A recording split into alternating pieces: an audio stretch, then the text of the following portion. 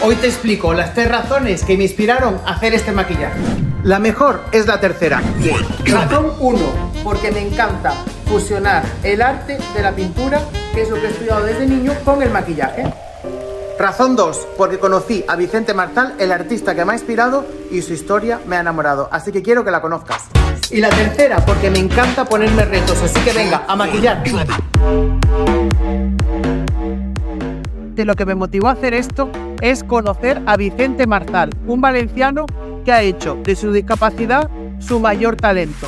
Es sorprendente la historia que tiene, a mí me cautivó y os la voy a contar.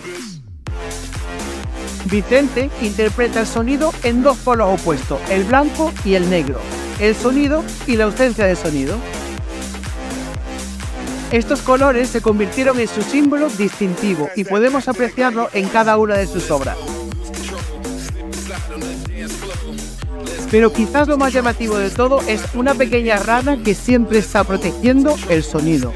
La rana es una rana con color, intrépida, que cuida y protege la voz, el sonido, porque el sonido y la voz es lo más importante, la voz de un amor, la voz de tu madre, la voz de la conciencia, la voz es importantísima y Vicente Marzal sabe recrear todo eso en su arte.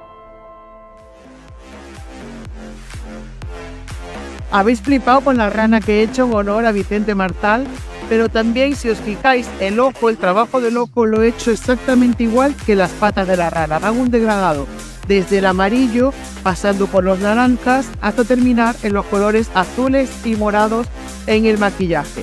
Así que espero que os haya gustado mucho y millones de besos.